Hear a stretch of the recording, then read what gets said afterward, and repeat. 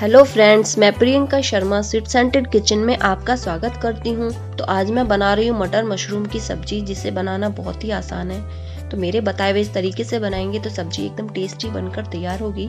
तो सबसे पहले मैंने लिए आधा किलो फ्रेश मटर, लगभग आधा किलो मशरूम, जिसको अच्छे से धो लिया था मैंने। तो मशरूम को काट लेंगे। इस तरह से तो सारी मशरूम को इसी तरह से काट लेंगे। अब मैं ग्रेवी तैयार करूँगी तो उसके लिए मैंने टमाटर, प्याज, लहसुन और हरी मिर्च को लिया है। तो अब एक पैन में मैं ऑयल लूँगी और उसमें डालूँगी प्याज। और एक से दो मिनट के लिए इसे भून लेंगे। इसमें डालूँगी लहसुन की कलियाँ, हरी मिर्च।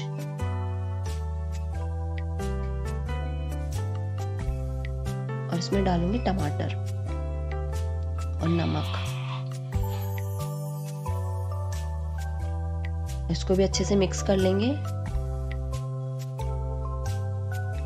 अब इसको ढक करके टमाटर को सॉफ्ट होने के लिए रख दूँगी। टमाटर हमारे सॉफ्ट हो गए हैं। तो अब इसको ठंडा कर लेंगे और इसका पेस्ट बना लेंगे।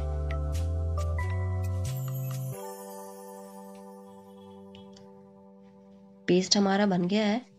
तो अब मैं कढ़ाई में थोड़ा ऑयल लूँगी और इसमें डालूँगी दो तेज पत्ता जीरा, जिंजर गार्लिक पेस्ट और टमाटर पेस्ट। उसको भून लेंगे जब तक हमारा ऑयल रिलीज़ नहीं हो जाता।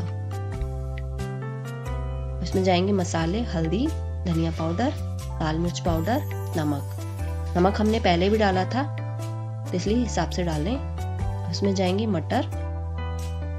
क्योंकि मटर हमने फ्रेश ली हैं तो हम इसे पहले ही डालेंगे। अगर फ्रोजन मटर होती तो मशरूम के साथ भी डाल देते हैं। इसमें डालूँगी पानी और इसको ढक कर के दो से तीन मिनट के लिए एक उबाल आने देंगे ताकि हमारी मटर सॉफ्ट हो जाए। इसमें जाएँगे मशरूम और इसको भी अच्छे से मिक्स कर लेंगे और ढक कर के इसमें भी एक उबाल आने देंगे अब सब्ज़ी में उबाल आ गया हमारी और इसमें मैं डालूँगी कसूरी मेथी। और गरम मसाला। सब्ज़ी हमारी बनकर तैयार है। अब इसे सर्व करेंगे।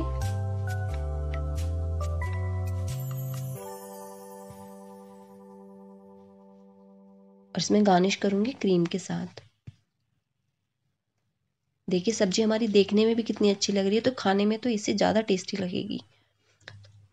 आप इसे रोटी, पराठे पूरी किसी के साथ भी खा सकते हैं।